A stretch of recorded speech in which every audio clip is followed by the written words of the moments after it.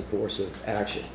First of all, I think everybody in this city recognizes that this city has been operating under difficult circumstances since Katrina. Uh, We clearly have had major infrastructure challenges before, and they were exacerbated tremendously after Katrina, Rita, Ike, Gustav, the BP oil spill.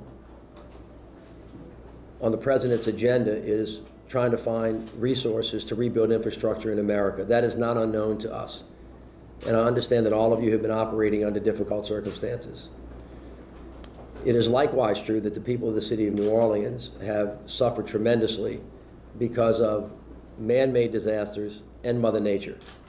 And that's clearly understandable. And I've made my thoughts known about last week's storm clearly that when you get five to nine inches of rain in any city in America, especially ours, you're going to get flooded and it's going to cause damage. We all know that.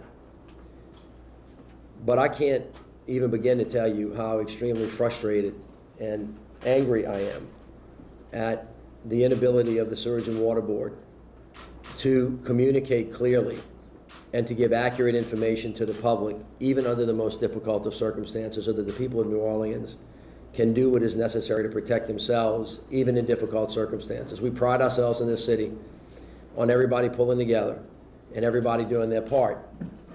Uh, And even if in that storm it wouldn't have contributed significantly, we don't know what the number is yet, it is clear to me that I did not receive the kind of information that I needed to make the decisions that were necessary to inform the public, and I'm not happy about that.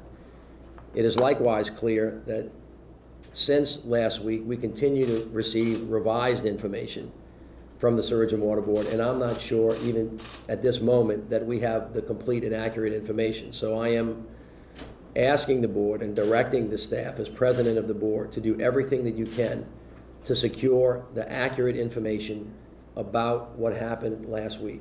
Councilmember uh, Williams is sitting next to me. We had a very difficult and painful public meeting, but a necessary one.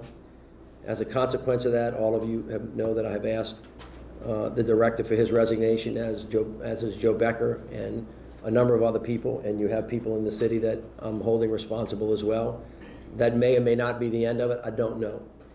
Uh, I will say this, though, today is not the day uh, to go into all of those details, because last night, in the middle of the night, I served, I signed an emergency order uh, as a result of the fire that occurred in the turbine at the Sewerage and Water Board plant.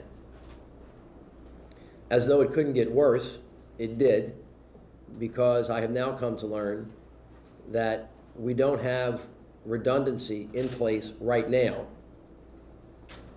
in the event that that turbine went down.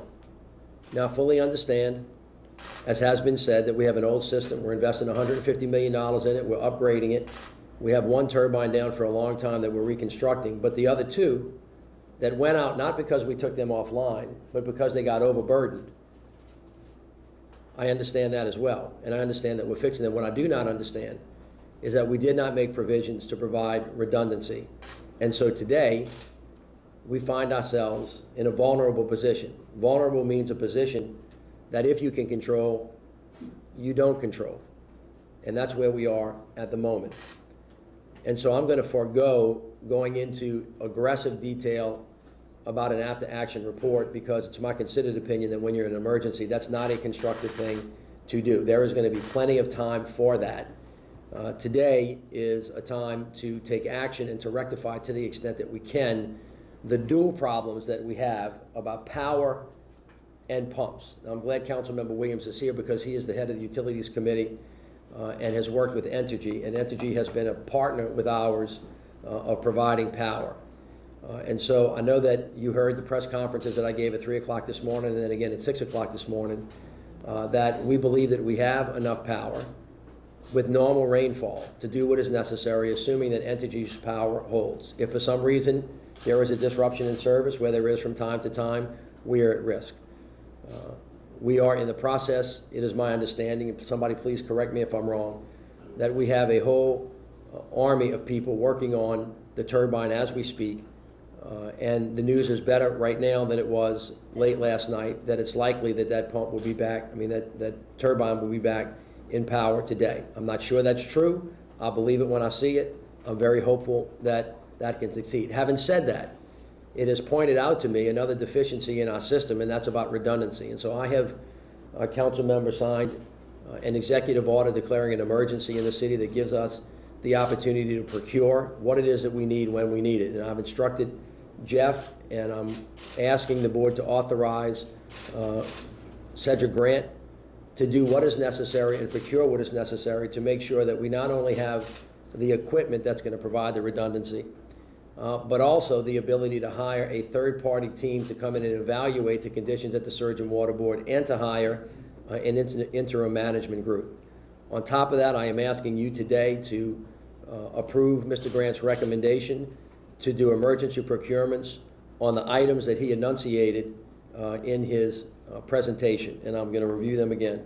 Uh, Drainage pump one, DPS number one, drainage pump number two, and constant duty pump number one, DPS number five, constant duty pumps 2L and 2R, DPS number six, drainage pump number one, DPS number seven, drainage pump D, DPS number 15, drainage pump number three, DPS number 20, drainage pump number one, DPS grant, constant duty pumps number two, and number four.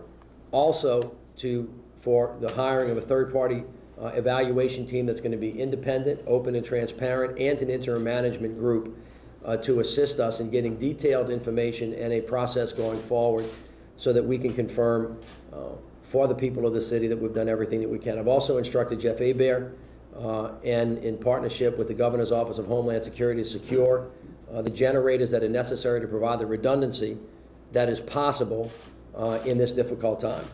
Uh, And so in order to do that, uh, I have to uh, ask you to entertain a motion to take action on those items that were not on the agenda as instructed by our council.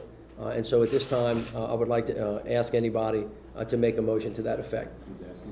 You had something Yeah, it- no, it'd just be a motion, entertain a motion, take up an action that's not on the agenda, will require a unanimous vote. You- So the motion should be to take up the action, Yes. not Not the necessarily- action The itself. motion is to take up the action. I'm off the motion that we take up the emergency action, uh, that's not on the agenda. Thank you. Can I have a second? All right, that motion is now taken up. Now, I've explained the motion. I think that we have to take public comment on this motion. Does anybody have comment that they would like to make on this particular item to take up uh, this motion? Gone once, gone twice, three times. The motion is then taken up. Correct. Um, Are there any questions uh, that the board has uh, regarding these matters? But we're voting on the actual motion to take. We're on the motion, no, we're, we're, we're we're on the item now. We need a No, vote on the motion to take it motion. up. All right, can we Mr. Mayor. vote? I'd like to request a vote on the motion to take up the item. So just need to call. All those in favor, Aye. Aye. and it's unanimous, Uh, the motion is now taken up. Mr. Mayor, you may now ask for the actual motion to procure. All right, may I have a motion to procure the items that I enunciated? Also move. Okay, is there a second? All right. Now, can I have a vote? All in favor? Aye. Any opposed? No, okay.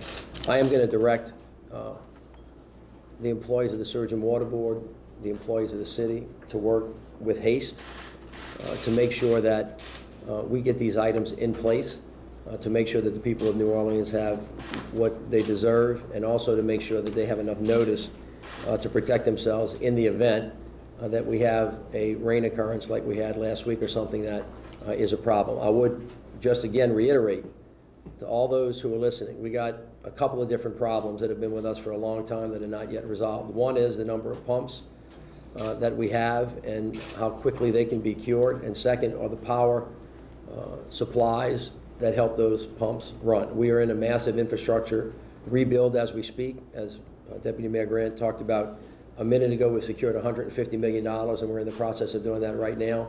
Um, However, redundancy is something that we ought to be able to put in place, and we are going to work hard to do that. We also have to look very, very deeply in this organization uh, about information, uh, information flow, information accuracy, and then the ability to actually get the job done under the difficult circumstances that we all know that we are under.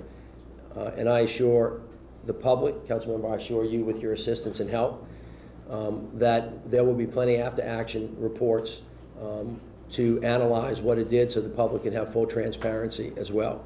Uh, I also want to make sure that we respond, uh, counsel, to all the public records requests uh, that we have in due time, given uh, the circumstances that we're under.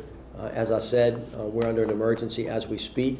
Um, We are hoping that this pump, I mean, the turbine will be up by the end of the day. If not, we're hoping that these uh, redundant systems will be in place uh, sooner rather than later. Uh, And uh, we will get to work, and we are going to get better at it.